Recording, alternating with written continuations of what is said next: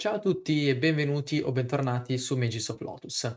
Io sono Simone e oggi andrò a parlare, a fare un ragionamento per quanto riguarda i formati e andrò a, eh, ad analizzare i motivi per cui, a mio parere, ci sono due formati, in particolare quelli che vedete nel titolo, quindi Pauper e Commander, eh, specialmente multiplayer, che sembrano effettivamente in questo momento avere una fortissima prevalenza sugli altri formati a livello di numero di giocatori.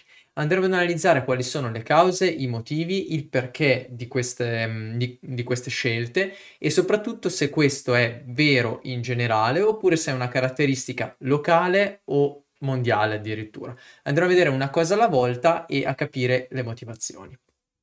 Allora, prima di tutto c'è da fare un'introduzione su quelle che sono le basi che mi fanno dire una cosa di questo tipo. Le basi sono legate eh, sia ai tornei locali, quindi a quella che è la mia esperienza locale nei negozi che frequento, dove effettivamente vedo grossissime, ma grossissime community, soprattutto riguardanti il Commander multiplayer, ma devo dire anche discrete community per quanto riguarda il Pauper siano esse in negozio o addirittura private, letteralmente a casa. Ci sono tantissimi giocatori che mi dicono io ho un gruppo di amici con cui mi trovo alla sera, siamo 6, 7, 8 giocatori, ci troviamo al mercoledì sera e giochiamo Pauper a casa mia. Tantissime persone, mentre mi succede molto più di rado per altri formati. Altre motivazioni, altri dati alla mano sono per esempio i tornei grossi di questi formati eh, che fanno dei numeri davvero incredibili. Pensiamo al Duel Commander che in Francia, Tolosa, capitale del Duel Commander, ha fatto un numero altissimo, 452 player ultimamente, con un evento davvero molto molto grosso. Oppure al, al Paupergeddon italiano che ha fatto 481 player a giugno e che sicuramente nei prossimi Paupergeddon farà dei numeri molto vicini ai 500 player che ragazzi se pensiamo, eh, pensate che sono dei formati non sponsorizzati, nel senso che non sono eh, gestiti dalla Wizard e non sono dei tornei ufficiali che ti qualificano al Pro Tour o al GP o a tornei competitivi. Sono tutti tornei, eh, potremmo dire, organizzati da un gruppo di, di, di persone ristretto con dei premi in palio, sì, ma non competitivi dal punto di vista del, della competizione ufficiale di Magic, non ti portano al mondiale, al Pro Tour. Quindi i numeri, a mio parere, sono davvero incredibili. In più ci sono davvero delle community gigantesche. Eh, io vado, per esempio, vado a giocare al giovedì sera al Jolly Joker, lo sapete, e eh, Commander Centurion, che è il formato Commander 1v1 più giocato in Italia, fa una ventina di player al giovedì sera, che è tantissimo come numero. E gli altri tavoli sono praticamente sempre occupati da giocatori di Commander multiplayer, che è uno dei formati più giocati, a mio parere attualmente il formato più giocato in assoluto di Magic. Ovviamente stiamo escludendo il limited per quanto riguarda, eh, riguarda questo discorso, stiamo parlando di formati puramente ehm, costruito, però ehm, c'è questa forte, eh, forte pendenza verso questi due formati. Quali sono le motivazioni? Allora, le, le, motivazioni possono essere davvero tantissime, ma a mio parere ha senso andare ad analizzare prima quali sono le motivazioni per cui gli altri formati sono meno giocati e vedere anche se è effettivamente così sempre e in tutte le situazioni. Partendo dallo standard, la motivazione per cui lo standard è un formato attualmente molto molto poco giocato, devo dire che è innanzitutto economica, perché il formato comunque non è economico dato che ruota abbastanza velocemente, non, ehm, non è facile reperire le carte subito, immediatamente, Spesso ci va del tempo, spesso per montare un mazzo servono delle carte davvero molto costose, magari un giocatore non ha voglia di spendere e per di più quando questo formato, questa espansione per esempio dovesse eh, uscire dal formato standard, eh, queste carte potrebbero anche crollare, ci sono tante carte che mantengono un valore di mercato altissimo in standard, ma che poi dopo la rotazione dei, dell'espansione vanno a perdere di significato, vanno a perdere di valore in maniera molto pesante. Lo standard quindi rimane un formato un pochino ehm, rilegato a quelli che sono i giocatori competitivi che sono in qualche modo forzati a giocarlo se vogliono fare il Pro Tour eh, standard banalmente o la stagione riguardante a questo formato. Per quanto riguarda invece il Pioneer, le motivazioni sono secondo me legate non solo da un punto di vista economico, in quanto il formato, se dovessimo fare un rapporto prezzo e, ehm, come dire, ehm, durabilità del mazzo non è poi così male, è un ottimo formato. Il problema è che effettivamente le community sono ancora troppo piccole che il formato non è giocato nei negozi. Quindi la gente è difficilmente spinta a giocare un formato non eh, molto frequentato, perché se io devo montare un mazzo e spendere 400-500 euro per poi avere magari una community di 6-7 persone, non ha alcun senso. Mi metto magari a montare un mazzo di un altro formato eh, che è più frequentato. Quindi le motivazioni per quanto riguarda il Pioneer sono principalmente di giocabilità. Ehm, secondo me è un formato che prima o poi esploderà, ma non è ancora questo il momento e eh, è evidente questa cosa.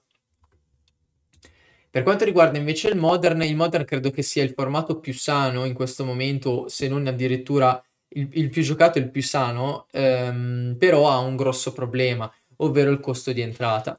Il costo di entrata per i nuovi giocatori è davvero altissimo, si sta alzando in una maniera troppo pesante e quindi tantissimi giocatori che vorrebbero giocare Modern non ne hanno semplicemente la possibilità economica.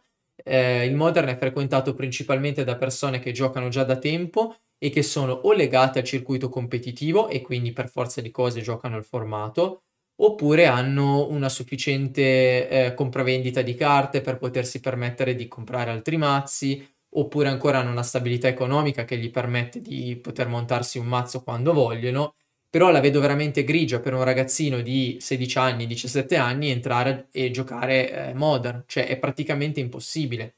O ancora peggio, anche un adulto che semplicemente si sta approcciando a Magic difficilmente spenderà 1000 euro per montare un mazzo dall'oggi al domani senza essere neanche sicuro. È molto più probabile che si avvicini a dei formati che magari gli permettono di giocare in maniera più economica e ehm, con i propri amici. Questo è un aspetto che a mio parere vale tantissimo. Quindi abbiamo detto quello economico, ma soprattutto quello degli amici. Perché dico questo? Perché se faccio l'esempio del Commander, soprattutto il Commander multiplayer, la motivazione non è che è economica. Allora, sì, il Commander so- può essere sia caro che economico in realtà, però tendenzialmente il Commander multiplayer giocato a casa tra amici o al tavolo del, del negozio di turno tra amici non è un formato costoso perché comunque basta non giocare le bombe, ci divertiamo, ci beviamo la birra, facciamo due parole e intanto giochiamo a Magic. Quindi è in qualche modo un formato molto più friendly, anzi moltissimo più friendly eh, molto più gioco di società, potremmo dire, quindi quasi fosse un, un gioco da tavolo da giocare insieme agli amici e accessibile a tutti i giocatori per n motivi, che sono quelli economici, come detto prima, potete comprare tutti quanti un precostruito e in 4-5 ci troviamo e giochiamo con i precostruiti. Il livello è basso per tutti, quindi vuol dire che tutti se la giocano bene, possono giocare eh, e vincere la partita tranquillamente. Il costo di entrata è relativamente basso perché un precostruito comunque si compra, compra con una quarantina di euro, quindi non è che parliamo di cifre assurde e poi ho la possibilità in futuro di migliorarlo, magari comprando delle carte, eccetera. E eh, terza motivazione, è ottimo anche a livello di, di rulings un po' di tutti, per tutti. Perché questo? Perché è vero che il Commander ha delle regole molto complesse, eh, ci sono molte interazioni, ci sono dei board molto intensive, ci sono n fattori che rendono comunque complesso giocare a Commander multiplayer e ci tengo a specificarlo. Però è anche vero che per un giocatore novizio inserirsi in questo contesto, seppur complicato, potrebbe essere più semplice per assurdo che inserirsi in un Modern o in un Pioneer. Perché? Anche se ho le regole più complesse, stiamo giocando in 4 o 5 persone, siamo al tavolo assieme che ci beviamo una birra, il livello di competitività è molto più basso, c'è il mio amico che mi aiuta, che mi consiglia, posso anche permettermi di, farmi, di far vedere la mano a un mio amico banalmente, dirgli ascolta, non so come funziona questa interazione, me la spieghi, cioè non, non c'è competitività, non c'è un problema se si fanno determinate cose. E quindi è veramente accessibile anche all'ultimo arrivato che non ha mai giocato a Magic. Al contrario, se sto facendo un torneo, sia esso di standard, di pioneer, di modern o quello che volete voi, non è che posso dire al, al vicino eh, eh, gioco questa, gioco questa e chiedere a lui consigli su cosa è meglio, cosa è peggio, perché non si può fare ad un torneo questa cosa qua. E, e quindi questo rappresenta già una barriera molto alta. Per di più c'è anche da aggiungere il fattore impegno, tra virgolette, che uno vuole mettere.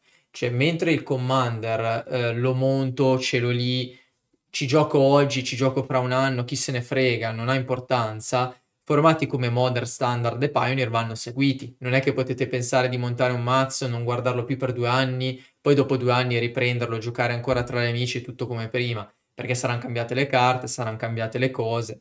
Il Commander, se giocato con un livello basso come quello del precostruito, se anche tu giochi un precostruito che ha un anno di età, boh, chi se ne frega, cioè non, non fa la differenza. Se le carte sono quelle, cambieranno magari alcune meccaniche, però non, il livello è lo stesso. Quindi c'è veramente un fattore di non competitività molto molto pesante. Per quanto riguarda invece il discorso, questo per il Commander, per quanto riguarda invece il discorso del Pauper, è sicuramente una motivazione per lo più economica. Il Pauper è un formato talmente economico che lo rende accessibile a tutti i giocatori. Scusate. Eh, questo è quindi un fattore di ingresso altissimo per tutti, perché pensateci, nel vostro negozio c'è una community di Pauper, però c'è anche una community di Modern.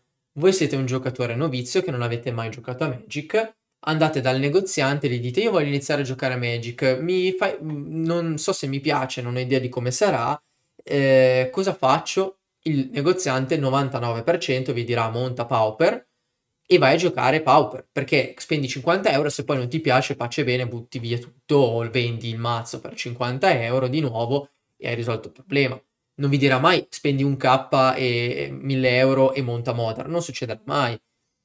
Per di più il um, power level del Pauper, seppur alto, ha comunque delle interazioni e delle meccaniche che sono un po' più semplici rispetto a quelle che potrebbero essere di un Modern o di un Pioneer.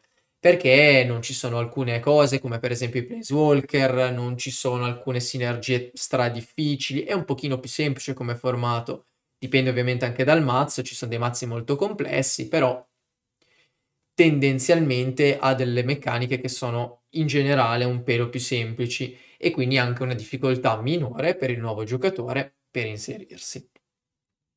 Tutto questo discorso, tutto questo eh, purpur di roba per dire che cosa? Che effettivamente Pauper e multiplayer saranno, eh, scavalcheranno gli altri formati? No, assolutamente no o meglio, a livello di numero di giocatori sì e probabilmente l'hanno già fatto. È molto più facile trovare una community di Commander multiplayer grossa piuttosto che una community di Modern grossa. Tuttavia, per quanto riguarda il discorso di competitivo, eh, quindi per i giocatori che amano un po' più adrenalina, non sono formati che sono esattamente adatti sono molto più adatti a giocatori friendly. Il Pauper forse tanto quanto, ma il Commander indubbiamente più adatto a giocatori friendly che non hanno voglia di impegnarsi più di tanto in Magic. Giocatori che invece amano la competizione, vogliono fare tornei, hanno degli obiettivi, sicuramente si allontaneranno ben presto da questi formati. Sicuramente si allontaneranno subito dal multiplayer e probabilmente anche dal Pauper, perché sebbene sia un formato che ehm, ha un minimo di competitività, se voi siete dei giocatori che ambite a fare il GP, eh, non è comunque il formato giusto, perché non è finanziato, non è sponsorizzato direttamente dalla casa madre e questo vi farà indubbiamente prima o poi slittare su altro. Ehm, questo, tutto questo discorso che ho fatto quindi per dire che eh, le due cose sono da vedere separatamente. Magic in questo momento è un, forma- eh, sì, un formato, un, un gioco estremamente sano anche grazie a questa sua versatilità, ovvero alla capacità di avere dei formati che accontentano i giocatori competitivi e in parallelo avere dei formati che accontentano i giocatori invece più friendly e meno competitivi, in modo tale da dare un po' un, um, un gioco, un formato per tutti i gusti e per tutti quanti. E questa è una cosa estremamente positiva di Magic che a mio parere non esiste in nessun altro gioco da, di carte in questo momento. Ehm, ovviamente la Wizard spingerà entrambe le situazioni, eh, continua a far uscire un sacco di set e un sacco di carte relative al Commander, così come continua a far uscire un sacco di carte relative agli altri formati. E quindi ragazzi state tranquilli, sì che, sia che voi siate team friendly, sia che voi siate team competitivo, veramente non ci sono paure e non dovete pensare che questi due formati scavalchino completamente gli altri. Anche se devo dire, chiudo con questa riflessione, a livello di ehm, numero di giocatori sarà molto più facile per voi trovare una community eh, relativa a questi formati e questo purtroppo è un dato di fatto. Eh, non è detto però che la Wizard possa fare un passo ulteriore, magari nel futuro prossimo, per cercare di sponsorizzare ancora di più i formati competitivi, magari inserendo un sacco di promo, un sacco di, di cose interessanti eh, che i negozianti dovranno dare in dei tornei sanzionati stabiliti dalla Wizard di un formato preciso. Questa cosa è già successa in passato, esempio ehm, delle promo che vengono date se il negoziante organizza un torneo Pioneer, Modern, Standard. Questo lo potrebbero fare e sicuramente o prima o poi succederà anche se tendenzialmente preferiscono lasciare il libero arbitrio al negoziante sulla scelta del, um, del formato. Quindi ragazzi, non temete, sia che voi siate friendly che competitivi, ce n'è per tutti. Magic è bello proprio per questo motivo. Detto ciò, chiudo con questo, questo discorso, vi invito a lasciare nei commenti il vostro parere, se pensate che Pauper e Commander scavalcheranno eh, gli altri formati, anche se numericamente parlando l'hanno già fatto effettivamente, e, o lo stanno facendo e effettivamente diventeranno gli unici formati giocati oppure se anche voi siete del parere che sì, saranno i formati più giocati, ma per quanto riguarda la sfera non competitiva, mentre per quanto riguarda la sfera competitiva comunque non verranno mai inseriti e rimarrà fedele a quelli che sono i formati tradizionali, modern, pioneer ed eventualmente standard. Fatemelo sapere nei commenti e risponderò nel più breve tempo possibile. Ciao a tutti e ci vediamo alla prossima!